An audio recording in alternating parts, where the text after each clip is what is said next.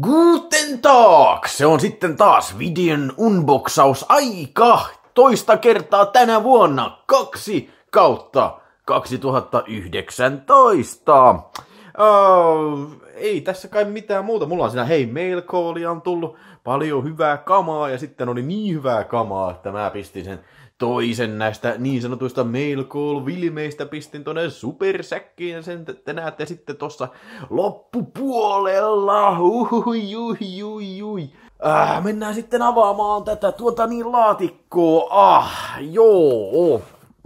Ai, ai, ai. Arvo, jäi hämää, että mitähän mun piti sanoa. En mä tiedä. Mutta puhutaan nyt vaikka tästä. Alastomat ja kuolleet. Star Video.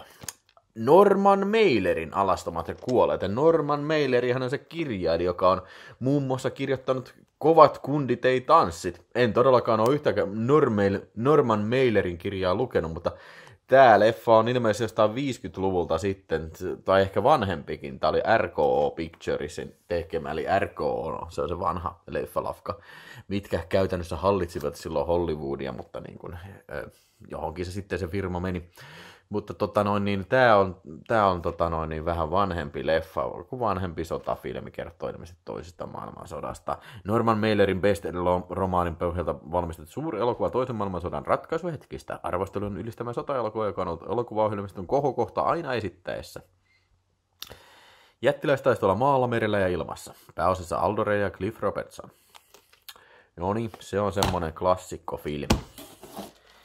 Sitten mulla oli tämmönen joku Arnoldin enkerit. Kun Arnoldin enkerit päästetään irti, ei nauru lopu koskaan kesken. Ää, toi koskaan oli mun lisäys. Mutta Manson International, ja hei, mullahan on tää, joo, sehän on tuo hyllyssä, Star Video hyllyssä, ette te varmaan näe, mutta tää on tuplakappale, joten ei sitä sen enempää. Sitten tässä on tämmönen a Bitch paskahousukasetti. Konnat ovat vaarallisia. Eddie Konstantine. Star Video edelleen on tässä, niin kuin tuo edellinenkin oli.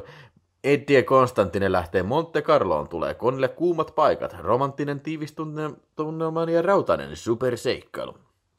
Niin kuin vain Eddie osaa. Tässä on muuten tämä sama, mikä on mua hämännyt monessa, tuossa toisessakin kan, kannessa, että niin kuin vain Eddie osaa, niin kuin vain Eddie osaa, niin kuin tyhmä, tyhmä suomen kieltä kyllä mun mielestä. Kauniita tyttöjä, Ovelia Konnela, kova nyrkkisankari, riehekkässä la- vauhdissa laivan kapteeni, taattua Eddie viihdettä. No ei ole kyllä, tää, jos tää on taattua Eddie viihdettä, niin en tiedä sitten, kuinka taattua se on. Meinaan siis, mä heitin ton kasetin roskiin, koska siis se, se niinku me, siis se oli jotenkin, meni poikki ja sitten se niinku vielä imeytyi niinku, tiedätkö, niinku, tiedätkö, nauhurin sisään, kun mä kaappasin sitä. Ja musta tuntuu, että niinku, mä luulin hetken jo, että nauhuri meni paskaksi siitä, kun siihen ei tullut virtaakaan sen jälkeen. Mutta kuinka ollakaan, viikonlopun jälkeen siis nauhuri taas toimii ihan hyvin, joten säikähdyksellä selvittiin. Mutta äh, Eddie Konstantine elokuva ei selvinnyt kyllä säikähdyksellä. Kyllä mä paiskasin sen roska, roskalaatikkoon kyllä. Joo. Ja sitten on herkkupala, herkku, oikein maukas herkkupala. Ui, ui, ui, The New Barbarians. Kyllä, kyllä, Enzo G. Castellarin The New Barbarians. Uudet barbaarit, videotape center ja kyllä, suositusikäraja 20 vuotta. Ai, ai, ai, ai, ai, tää on niin rajua kamaa, että tota no, niin 20-vuotias ei saa sitä katsella. Hän voi kyllä liittyä armeijaan ja tuota noin, niin, hakea alkoholia, mennä naimisiin kyllä, mutta tätä elokuvaa et sä kyllä kato, jos sä oot 19-vuotias. Et todellakaan. Ja se ei riitä, nimittäin tätä on pitänyt vielä leikata. Mä pistin tähän itselleni, pistin tota noin, niin, muistutuksen, että tää on leikattu versio, koska totta kaihan se löytyy tuolta hyllystä. Se leikkaamaton versio löytyy tota, ja siis se on siis täsmälleen samoilla kansilla julkaistu Videotape Centerin kultakantinen tota noin, niin julkaisu, videotrakin julkaisu ja ikäraja sama, niitä ei voi päältä päin erottaa ja kasettikin on ihan samanlaisia, uudet barbaarit. Ja tota noin, niin ainoa mikä, siis tässä, tässä versiossa siitä, tästä leffasta, niin oli silleen sensuroitu, kun se, jos olette nähnyt leffa, niin varmaan muistatte kohtauksen, missä tota, tällä tulevaisuusautolla jahdataan erästä onnetonta miestä pellolla ja sitten se saadaan kiinni ja sillä on semmoinen sirkkeli siinä autossa ja semmoinen tuulettimen näköinen laite ja sitten se leikkaa sitä pään irti, mikä on ihan hauska efekti. Niin se oli tässä, tässä versiossa, se oli sellainen niin kuin vedetty mustaksi se kuva. Sitä ei niin kuin leikattu, mutta se kuva niin kuin vedetty kämäisesti niin kuin videoeditti pöydällä sillä niin kuin tummaksi siinä kohtaa. Se on tosi huonosti tehty. Ja on kuullut, että tästä on semmoinenkin versio tota noin, niin, saatavilla, että missä se kohtaus on leikattu. Ja siis mä oikeasti katoin tätä, mä en ainakaan tästä versiosta löytänyt niin kuin mitään muu, muita sensurointia. Se ei tarkoita sitä, etteikö olisi, mutta siis kyllä mä sen katoin niin kuin rintarinna, katoin nää, mutta niin kuin sellainen hyppien sieltä täältä, mutta ei, ei kyllä mu, muuta ei mun silmään kyllä tarttunut. Tässä, tässä versiossa oli, oli tallella nämä kaikki hienot hidastetut ihmisen räjäy, räjäytykset sitten, kun Fred Williamson ampuu nuolella. Ja sitten oli se, tietysti tämä pahamainen homoraiskaus oli myös tässä. Ihan mun mielestä yhtä pitkänä kuin siinä toisessakin versiossa. Siis tietysti voi olla se toinenkin versio, mikä mulla on, mitä mä pidän leikkaamatta, mitä on leikattu. Mutta siis tää on mulle niin tuttu filmi, että kyllä mä varmaan huomaisin, jos jotain puuttuisi. Mutta niin kuin, that's it. Tästä oli ainakin se, se tota noin, niin sensuroitu se, se, tuota, se, se, se, se, se justiin se pään, pään tota noin, niin pään irtiottokohtaus sitten. Mutta hyvä vilmi, erittäin hyvä vilmi. Yes. Sitten joku tämmönen ihme vilmi kuin Teini Barretti, Michael Dudikoff, hui hui, Stephen Dorff, erittäin kiluna. Ei vitsi, onpa, onpa toi kyllä, Stephen Dorff on tosi, tosi kakara tossa. Joku Amy Dollans ja Peter DeLuise, joo, tai joku tämmönen teini-komedia, ilmeisesti toimintakomedia, mutta ainoa, että tässä on tämä teini on sitten niin kuin pääosissa. Fraser on 17-vuotias koulupoika, jonka elämä hallitsee toivoton pakkomiele, rakkauskoulun suosikki tyttö. Ginin porukka ei ujolla kundilla ole pääsiä. Rakastunut Fraser äh, jahtaa Ginia kamera-aseena ja näppäilee valokuvia ilta, iltaseuraksi. Creepy. Ja Uh, sitten tähtäimeen osuu paha tilanne. Kinni kävelee keskelle huumekaupalta näyttävää nahistelua suoraan tulilinjalle. Kauppaa käynyt Mac yrittää auttaa, mutta pari kohdalta vaan komppanista sieppaa tytön pankkivan, panttivangin, vangikseen. Uh, Fraser painostaa Macin mukaan pelastusretkelle, joka yllätys seuraa toista halkimantereen. No niin. Toivottavasti Michael Dudikoff vetää ainakin muutaman karatepotkun. Sen verran, mitä 12 ikärajaan pystyy vetämään. Ja sitten, ai ai ai ai, tää on melkeinpä supersäkki kamaa, koska tää on niin vittu hyvä leffa. Tää on niin yksi ehkä parhaista tota noin niin, lännen filmeistä. Mulla on aina, siinä ja siinä, niin kuin, että mikä on paras lännen elokuva, mutta niin kuin, tää on kirkkaasti siinä top kolmosessa. Nimittäin Warner Home Videon hurja joukko. Oi, oi, oi, oi, oi, oi, oi, oi, oi, oi, vittu Sam Peckinpah, oi, oi, oi.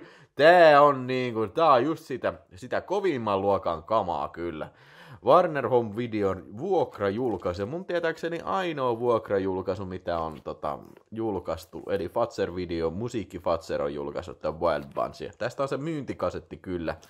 Ja kummakin näistä on mun mitä tietääkseni kyllä leikkaamattomia. Siis on kaikki veriset ampumiset on kyllä. Ja niitä on paljon. Verisiä ampumia on tässä, tässä leffassa kyllä todella paljon kaikki on talla, mutta niin kuin se, mikä tästä nyt tekee automaattisesti leikatun, että siis tämähän on tosi kämäisesti niin kuin pan and scan versio, eli siis täyskuvalle vedetty hienosta skope-kuvauksesta, että niin kuin, se on niinku leikkaus mun mielestä. Eli siis niinku, sä näet niinku koko ajan vaan puolet siitä ruudusta, miten, mitenkä niinku kuva oli alun perin sommiteltu, ja se on kyllä jotain karmeita. Ja sitten siihen aikaan, kun näitä, näitä tehtiin justiin videolle, niin se huomaa, että se on tehty tosi huonosti se pan and scan, että se, se niinku huojuu se kuva siinä, kun se joku pan and scan äijä niinku pyörittelee siinä varmaan sitä nauhalta. Se ei yhtään varmaan etukäteen edes katso niitä kohtauksia. Se niinku yrittää sitä niinku livenä niinku onkia sieltä ne oleelliset kohtaukset siitä kuvasta, mutta siis välillä se on tosi karmeita katsottava. No, mutta ehkä se on parempi se, kun sitäkin on nähnyt, että niinku, Uh, sitä pan and scannia, sitä ei ole ollenkaan siirretty, se kuva on niin kuin vain siinä keskellä, eli jossain Hongkongin filmissä on nähnyt sillä, että kaksi äijää on pöydän ääressä ja puhuu toisilleen.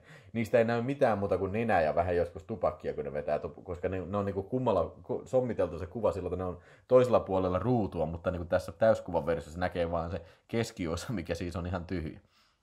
Että niin kuin niinkin voi käydä. Mutta niin kuin joo, hurja joukko, erinomainen filmi. Heittäkääs kommenttia siellä, että mitä pidätte hurja joukosta. Onko se paras westerni vai onko se hyvät, pahat ja rumat vai onko se tuota noin niin huuliharppukostaja. Mulla on kyllä tosi, tosi paha skapa siinä kyllä, mutta niin kuin heittäkää mitä te olette mieltä, että mikä on paras westernikuva. Joo. Sitten toinen klassikko, tupla kappale, Kiefer Sutherland, Corey Feldman, The Lost Boys on tää sitten tää kasari Joel Schumacherin filmi. Tää on semmonen elokuva, mitä mä en, mä en ikinä nähnyt silloin, kun mä olin nuori, koska se olisi pitänyt katsoa siltä. Mulla ei sellaista niin nostalgista vibaa tähän, mutta siis onhan tää ihan hyvä filmi kyllä. Koska mä sen nyt katoin ekan kerran, varmaan ensimmäisen kerran varmaan näin joskus tiedätkö, 2015 tai jotain semmoista Netflixistä tai jotain, mutta kyllähän se on hyvä, hyvä filmi, ei siinä mitään. Mutta niin kuin se, se oli tupla kappale, mennään eteenpäin, ei jaksa. Se on varmaan jossain aikaisemmalla unboxilla, kattokaa sieltä, jos bongaatte sen. Niin. Joo. Sitten Liivan Cliff, seitsemän rohkean kosto, ja länkkäri kuvaa taas. Tuota, joo, tää on vähän vanhempi, tai no niin on kyllä Wild Bunchikin, mutta tää on pari vuotta Wild Bunchia uudempi, mutta kun mä kaappasin tätä, tää kyllä näytti pahasti kyllä joltain TV-elokuvalta kyllä, ainakin lopputeksteissä päätellen. En mä tiedä, onko, tai siis niin kuin, tiedän, että en ole nähnyt tätä leffaa, mutta niin kuin, en tiedä, onko tämä katsomis, katsomisen arvoinen leffa, sitä en tiedä. Ehkä te jokut katsojat voitte sieltä auttaa mua. Mutta se ainakin on varma, että Lee Van Cleef on kova jätkä. Se näyttelee muun muassa justiinsa mainitsemassani tässä ö, ö, toi Hyvät pahat ja rumat näyttelee siinä. Ja lukuisissa muissa western ja sun muissa toimintaelokuvissa, ninja-filmeissä vaikka missä. Lee Van Cleef, oi vittu se on kova, se on niin kova, se on niin kova äijä. Ai ai ai, perhana. Sitten The Image, Albert Finney. Joo, tää on joku tämmönen HBO-draama sitten tuotu Warner Home Videon kautta Suomeen sitten Fatser Musiikin julkaisemana. Ja Albert Finne on se äijä, ketä näyttelee siinä mun suosikkifilmissä toi Network. Se näyttelee sitä hullua, hulluksi tulevaa TVn uutistoimittajaa. Se on loistava filmi. Ja tässäkin se näyttelee jotain uutistoimittajaa. Että voikohan tää olla samankaltainen filmi? Olisiko tää peräti niin joku jatko-osa Networkille? Niin kuin, en mä tiedä. Tää, ainakin siis tämän aspektin osalta tämä ainakin vaikuttaa tosi mielenkiintoiselta, tämä The Image, joo. Mua aina kiinnostaa tämmöiset media, mediakriittiset hommat, kyllä niissä voi olla potkua ja mielenkiintoista ajan kuvaa, koska niin kuin, jos vertaa niin kuin 80-luvulla, kun toi on tehty, niin kuinka paljon asiat on niistä niin kuin kehittynyt ja muuttunut erilaiseksi, on aina hauska nähdä, että mitä ne silloin oli. Joi, joi, joi, klassikko. Tää on niin kova filmi. Mafia, veljet, Goodfellas. Ui, ui, ui, ui, Martin Scorsesen kyllä niin kun ensimmäinen niin sanotusti rikostrilogiasta tämä, tämä sitten on. Ellei siihen nyt lasketa, ei, en mä laskisi kyllä tota, tota, tota, sanoa tota Mean Streetsia siihen, että mä laskisin tähän rikostrilogiaan Goodfellas, Casino ja sitten Wolf of Wall Street. Nämä kaikki kolme elokuvaa on minun silmässä täydellisiä elokuvia eri tavalla. Ja täydellisiä kympin ja viiden tähden filmejä kyllä nämä. Aivan. Ja mun on vaikea sanoa, että mikä niistä on paras, mutta täytyy kyllä sanoa, että siis tää tuli niin monta kertaa katsottua silloin tota noin niin kiluna. Siis tätä katteltiin kyllä niin kuin tosi paljon että niin kuin se, se ehkä vähän on syönyt tätä tehota. Siis mä niin kuin käytännössä muistan ulkoa tämän leffa, että, että jos, jos nyt tota pitää joku näistä valita, niin kyllä mä ehkä mieluummin katon Kasinon, tai sitten Wolf of Wall Street, Wolf of Wall Streetin siis, mikä on tosi hyvä leffa, niin kuin mitä te olette mieltä? Mikä näistä kolmesta voisi olla semmoinen paras? Mikä ylipäänsä on, tota no, niin, Scorsesen parhaita leffoja? Niin kuin mun mielestä nämä kolme, mutta niin kuin, niin kuin sanottu, että tämä on vähän ehkä niin kuin sellainen, tiedäkö, että mä en jaksa nykyään enää katsoa sitä, kun tosiaan niin muistaa sen melkein ulkoon, mutta niin kuin, on se vittu hyvä, on se kova. Kovaa kamaa kyllä vielä tänäkin päivänä. Ai ai ai. Hyvin kuvattu ja hyvät musiikit ja ehdottomasti niin kuin, monta klassista kohtausta, mitkä osaa melkein imitoida ulkoa sitten niin kuin, So what the fuck is so funny about? Niin kuin siis tää, tää kun so Joe Pesci kertoo vitsiä siellä baarissa, baarissa ja se sanoo sitten, ah, you're a funny guy, Reili, että sanoo sitten, uh, funny how, funny how, why don't you tell me, what the fuck is so funny about me? Do I dress funny? Do I talk like a clown? Niin, kyllä te tiedätte. Klassikko kohta. Joo. Sitten Diane Keaton, kuka kutsui haikaran? Baby Boom. Hmm. No, äh, joo, jotain, varmaan tämmöisen niin kuin, siis niin kuin vähän naisille suunnattu elokuva tässä, ja ei, ei ainakaan Vilholle suunnattu elokuva, jossa nimi on Baby Boom, ja kuka kutsui Haikaran suomeksi. Mutta Diane Keaton on hyvä näyttelijä, se on, mä muistan sen parhaiten noista kummisedistä, kummisedistä kyllä sitten tämän näyttelijän sitten. Kay, se näyttelee sitä siinä. Mutta tota, tästä elokuvasta mä en tiedä mitään, enkä osaa kertoa sitä mitään, eikä mulla ole mitään intressiä kauheasti alkaa kertoa sitä yhtään mitään, edes lukea takakanta. Kansi kertoo jo kaikki. Sitten Remu Hotelli. The Rich, eli joku äijä menee, sen vaimo pistää se johonkin ho- homohotelliin, tiedätkö, homokylpylään tai jotain, ja sitten kaiken näköistä homo, homovitsiä siellä sitten tapahtuu, ilmeisesti. Ja tämä on vuodelta 76, eli kohtalaisen vanha komedia-elokuvaksi. Itse asiassa juuri tuo Aaton, Aaton kanssa katsottiin eilen toi Caddyshack-filmi, ja ruvettiin miettiä, että tiedätkö, niin miettii, että kuuluisia 70-luvun komedioita versus 80-luvun komedioita, koska niin kuin, siis 80-luvulta tulee helvetisti mieleen komedioita, mutta niin kuin harvoin, siis tosi vähän tulee 70-luvulta mieleen komedioita. Siis johtuukohan se siitä, että me ollaan kuitenkin niin kuin, siis 80-luvun silloin kasvattu, että niin kuin sellainen, mutta niin kuin, kyllä mä luulen, että niin kuin, siis 80-luvulla tehtiin enemmän näitä niin kuin, siis paljon muistettavampia komedioita kyllä, mutta niin kuin, en mä tiedä. Ehkä tää on yksi niistä, mitä mä en vaan ikinä nähnyt. The Rich. Joo. Ja sitten Hullu kesä. Ui, ui, ui, ui, Bobcat White. Eli muistatte Bobcat Whitehen tosta niin kuin poliisiopistosta, missä näyttelee sitä hassua punkkaria, mikä kiljuu. Tota, no, niin se on tota, e, mulla oli se toinen elokuva, mä mun mielestä aikaisemmin puhuin siitä, se oli se Murtovarasko, se oli, se oli jossain aikaisemmin Unboxerissa. Itse asiassa mä aloitin just katsoa sitä tuolla salilla, kun mä käyn, niin mä pistän iPadilta pyöriin VHS-filmejä siinä, siinä on mukava katsella sit, kun juoksentelee juoksumatolla, niin siellä aloitin katsella just tätä Murtovarasta, mikä vaikutti ihan hyvältä filmiltä. Mutta siis tätäkään en ole nähnyt, hullu kesä kyllä, että tota no niin, Tämä on varmaan vähän samankaltainen kaltainen filmi. Valitettavasti tässä sitten meillä taas on vanha ystävämme Agfa SGH ja tuota noin niin Made in Germany ja voitte vaan arvata kun pistin kasetin koneeseen niin mitä kävi. No, kävi niin, että kuvapäät menivät välittömästi tukkoon. Koitin sitä pari kertaa ja täyttä paskaa, täyttä paskaa se oli. Joten niin kun valitaan Bobcat Cold White, se saa nyt kyllä, mulla ei nuijaa tässä, tässä niin kuin osilla, joten se saa mun, saa mun lenkki tossusta. Saatana. Ah. Ei tää me, ei se me tossulla kyllä millään rikki. Joo, mun täytyy hakea kyllä. Kyllä mä, kyllä mä hain tosta. Mennään tänne keittiön puolelle. Haetaan tässä mä Streamin tää tyhjä pullo. Nyt tulee sotona. Sotonan pyrkele.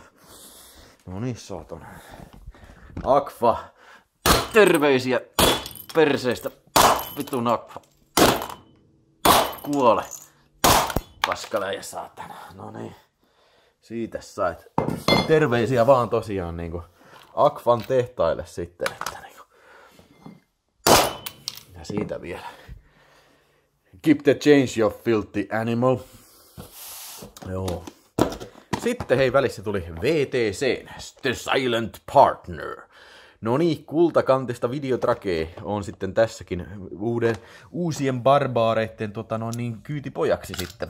Ja tota, tää, mua hämää tää kansi, tää äijä näyttää ihan Ryan Goslingilta tässä kannessa, mutta mä veikkaan, että Ryan Gosling ei ole kyllä vielä varmaan syntynytkään, kun tää leffa on tehty. Ei vaan olisi se syntynyt kyllä, mutta niin kun, se taisi olla kyllä aika, aika juniori, kun tää leffa on tehty, mutta siis ihan, ihan Ryan Goslingin näköinen tää, tää maalaus tässä. Huh. No, tota, elokuvasta mä en kyllä sen enempää kyllä yhtään tiedä, paitsi sen, mitä takakannasta osaan tavata. Perustuu Andres Bodelsonin romaaniin Think of a Number, Elliot Gould, Christopher Blummer, Susanna York. Jos tämän pitäisi tämän kannen äijä, mikä näyttää Ryan Goslingilta, niin kuin muistuttaa Elliot Gouldia tai Christopher Plummeria, niin voin kyllä sanoa, että niin kuin kaukana ollaan. Ehkä tää on näitä jotain tätä suomalaisen artistin viritelmiä, mitä mulla on tuolla, nämä hauskat tota, noin videota, mistä on ne saman maalaama. Meidän tää vähän vaikuttaisi siltä. Joo, mutta tää on joku tämmönen joku joku rikosjännäri. Hei, tässä ei ole ikärajaa, niin kuin, mitäs ihmettä. Sa- Videotraken äijät on unohtanut pistää ikäraja, unohtanut kannesta ikäraja. Huh. En tiedä.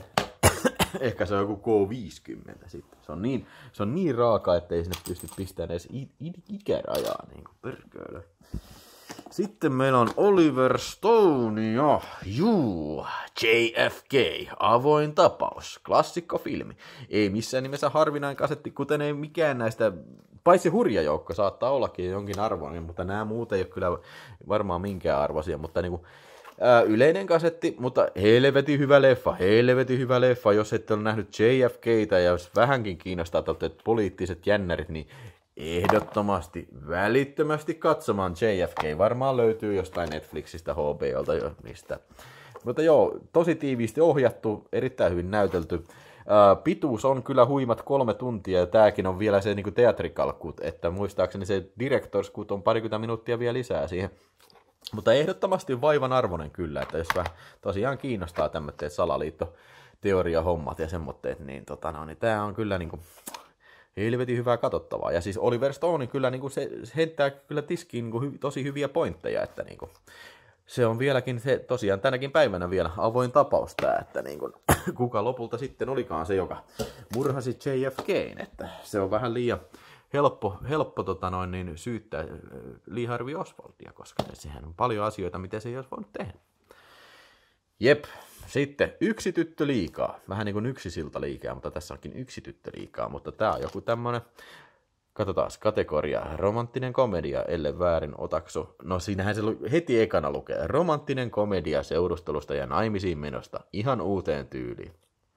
Joo, no juu, en mä tästä oikein osaa tehdä mitään, en, tai siis sanoa mitään, että niinku, tää oli hyvässä kunnossa, olisi mielellään antanut tälle enemmän, enemmän moukaria, tai tolle Haikara-filmille moukaria kuin Bobcat Goldwhiteille, mutta yksin ei käynyt, käynyt nyt onnen lahjat sitten, joo. Tää on joku tämmönen, tämmönen filmi sitten, joo. Glitz, TV-elokuva. Katsomatta paskaa varmasti. Mutta hei, on tässä ihan tää hyvä näyttelijä, tää Jimmy Smith, se on paljon ollut leffoissa kyllä. TV-filmeissä, Dexterissä, TV-sarjoissa, vaikka missä. Eikä se oikein ikinä varmaan niin se on mikään kauhean iso starpa ollut, mutta niin kuin, siis tuttu kasvo varmasti kaikille television katsojille kyllä tämä, tämä herrasmies. Ja Elmore Leonardin perustuva romaanin perustuva elokuva sukeltaa Puerto Ricon ja Atlantikityn uhkapelureiden huorien, konnien, ahneuden ja väkivallan neonvaloiseen maailmaan. Jimmy Smith, tuttu televisiosuosikkisarjasta L.A. Low, esittää Vincent Mora, kovapintaista maailmanlaisetsivää, joka jahtaa tyttöystävänsä murhaaja. No niin, aika perusjuoni kyllä siinä tuntuu olevan, joten niin kun, mennään sitten vaan eteenpäin. Sitten kesätarina. Jaha, mikä tämä tämmönen kesällä tapahtuva tarina sitten onkaan? Uh, John Caspertin Forsytin tarjosta tuttu englantilaiskirjalla hakee takentaren kesäistä rakkaudesta vuodenvaihteen englannista. Oh, vittu, joo. Whatever, dude. Mä voisin sanoa suoraan, että niinku, vittu, whatever, dude. Tämmöiset ei kyllä kauheasti kyllä ne nappaa meikäläistä kyllä. Ikäraja sallittu. Äh, joku tämmönen puku, pukudraama, pukudraamaa. Se on just semmoista, niin kuin mitä, mitä meikäläinen ei, ei arvosta yhtä. Gangsteri lähöä, komedia poliisin todistajasta, joka aiheutti nukkumaläheille kulttuurishokin. Steve Martin ja Rick Moranis, no siinä on ainakin hauskat miehet kyllä. Tämä on siis joku tämmönen gangsteri parodia, mafia, mafia komedia juttu, joku semmonen niin kuin joo. Ykköskoomikot taas kaksin vauhdissa. No, mitä voi odottaa, kun mafioisen jemmataan naapuristoon? No, en tiedä. Niin. Äh, Vincent Antonelli, Steve Martin, täytyy jemmata turvaan. Gangsteri on kyllästynyt elämänsä mafiaperin riveissä ja lupautuu FBIn todistajaksi. Mafia tosin saattaa vaikka hermostua ja taivutella vinnien tuppisuuksu. Paras siis hoitaa miesmaisemista oikeudenkäyntiin asti. No, oikeudenkäynnin saakka. No niin, se on semmoinen komediaviritelmä. En ole nähnyt, mutta Steve Martin mafia äijänä kuulostaa erikoiselta kyllä. Mitenköhän se toimii sitä? En tiedä. Hei, mä unohdin pistää, siis mähän, mun, mä yleensä aloitan tuolla niinku mail callilla, mutta mä unohdin se tehdä alussa, niin, tota, no, niin tehdään se nyt sitten lopussa. Lähellä loppua siis. Eli oi oi oi oi, nyt on hyvä filmi. Laser Mission. Tehtävä Laser Mission. Eloon jäämis, eloon jäämien lukun määrä nolla. Nonni. Se on semmonen laser mission. Onkaan tää niinku hyvä prosentti tää elojäävien mä- lukumäärä nolla? Siis onko se hyvä vai huono asia sitten? No mun mielestä se on ollut huono asia, koska ottaa huomioon, että tässä Brandon Lee yrittää hankkia sen tiedemiehen takaisin, että tota noin, niin se saadaan länteen sitten Neuvostoliiton kynsistä, niin jos siellä kaikki kuolee, niin sitten varmaan on epäonnistunut tehtävä. Tappava kaasu vaikuttaa heti. Maailman suurin timantti ryöstetään jo professori Brown Ernest Borgnine, maailman johtavin laserasioiden tunt- tuntija, kidnapataan. KGB valitsee vankissa amerikkalaisen agentin Michael Goldin Brandon Lee Kavangan lentokentällä. Hänet tuomitaan kuolemaan vakojen. Gold onnistuu kuitenkin viime hetkessä pakenemaan, ja nyt hänen tehtävänsä on löytää professori Brown ja timantti, eli laser mission. Tää oli hyvä filmi, mä kattelin tuosta Amazon Primeista, mikä oli muuten leikattu versio siellä Primeissa. Tääkin on leikattu versio, mutta eri lailla. Itse asiassa tässä oli paljon raaempia kohtauksia tässä suomalaisessa VHS. Tässä oli tallella se, kun Brandon Lee tönää sen yhden äijän kiljotiiniin ja potkaisee sen vapaaksen kiljotiiniin, sitä lähtee pää irti. Se oli tässä. Ja se toinen, missä se äijä putoo piikkiaitaa ja näytetään sen ruumista, se oli tässä kans suomalaisessa VHS.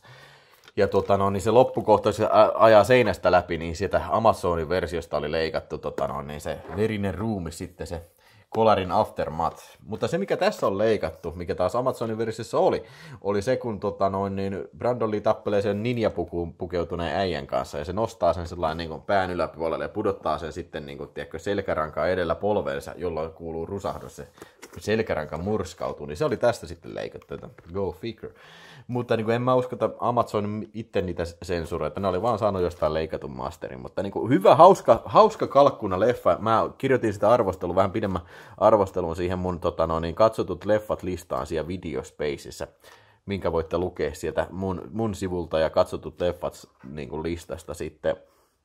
Kannattaa muuten sitten pistää omaakin listaa sinne tulelle. Se on aina hauska sitten myöhemmin katsella, että mitäs leffoja tuli vaikka vuosi sitten katsottua, että niin sitä saa sitten hyvää tämmöistä katsomishistoriaa listattua sinne. Mutta joo, oikein hyvä trash-elokuvia, elokuva suosittelen ja saakeli hieno niin kuin, tunnusmusiikki kyllä. Niin kuin se, mercenary man, mercenary, mercenary man.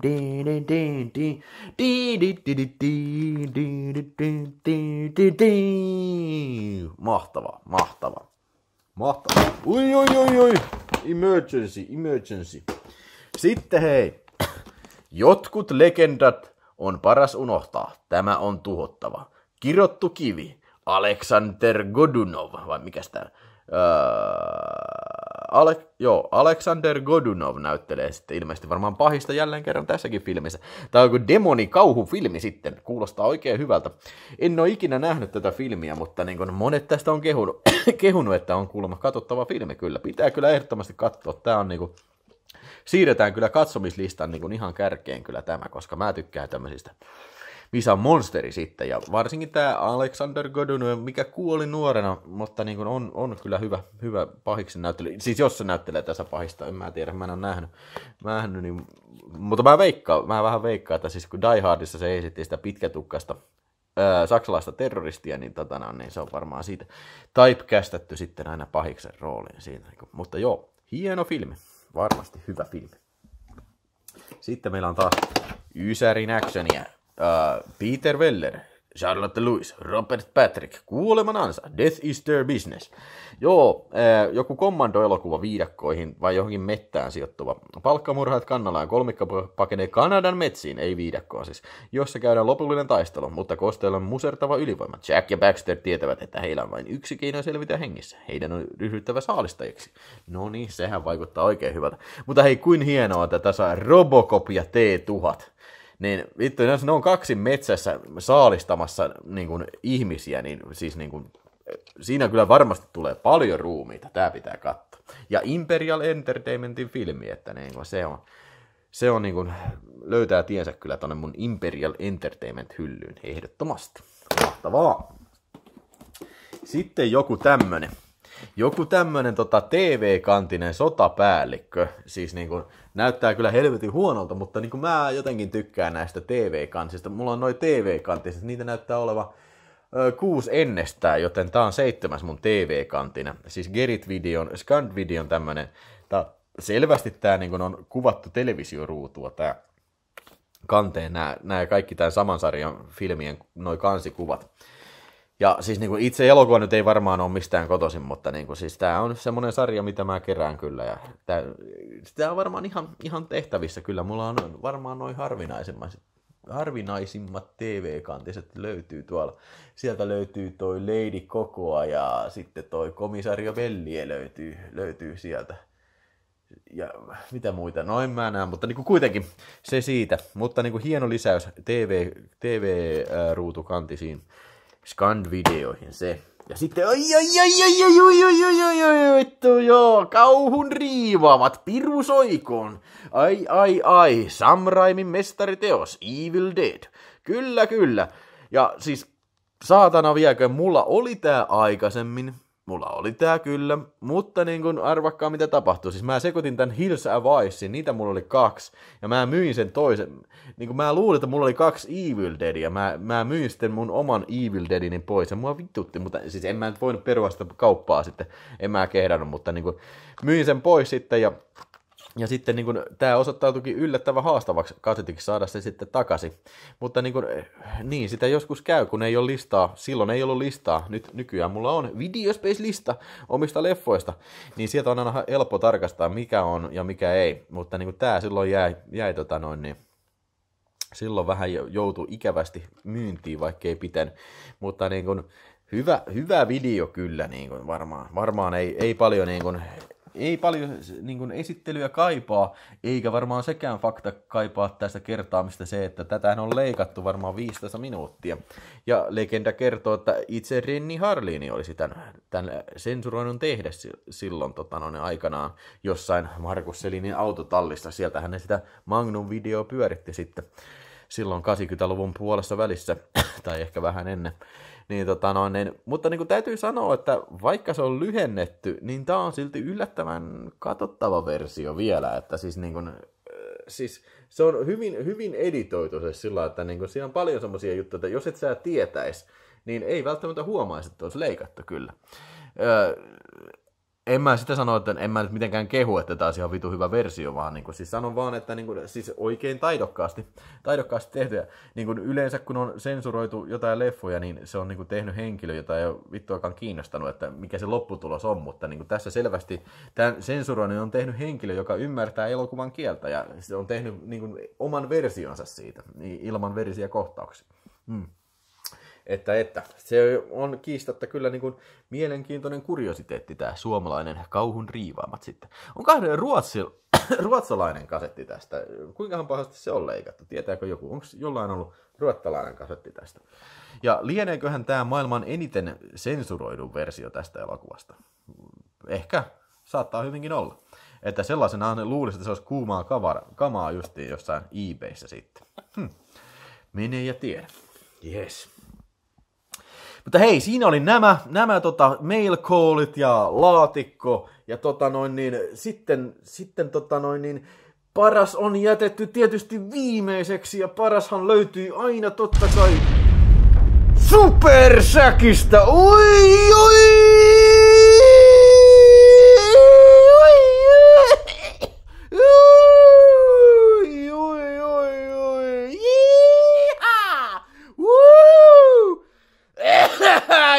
Ai satana, perkele.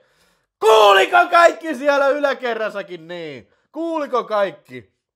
Meinaan, Nightmare on viimeinkin, viimeinkin saapunut Vilhon videohyllyyn. Ui, ui, ui, ui, ui. Ai, ai, ai. No niin. Nyt kun on saatu tää, tää tota noin, niin alta pois tämä äh, ja ääni pois, saatu tämä huutamisosuus ohi, niin puhutaanpa hetken Nightmare-elokuvassa. Eli siis kyseessähän on Video Investin julkaisu tästä tota no niin, Romanos Kavoliinin pahamaineisesta videonästi-elokuvasta Nightmare. aka Nightmares in a Damaged Brain. Se on se toinen nimi.